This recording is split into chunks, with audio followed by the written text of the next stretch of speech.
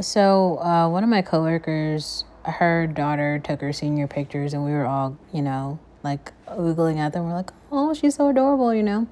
And then um, I basically I pulled up my senior picture and I was like, oh my god, yeah, no, I, I you, she's always going to remember those pictures because, yeah, you just look back on them and you you just are like, oh my god, I totally remember that time. And I do, I remember everything about that picture, but I also remember that girl, like who I was, and all these things that I didn't know.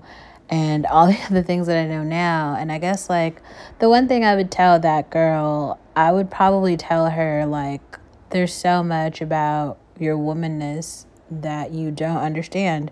And I would go to a small liberal arts school and probably study women's studies. I think that's the best advice I could probably give to that girl.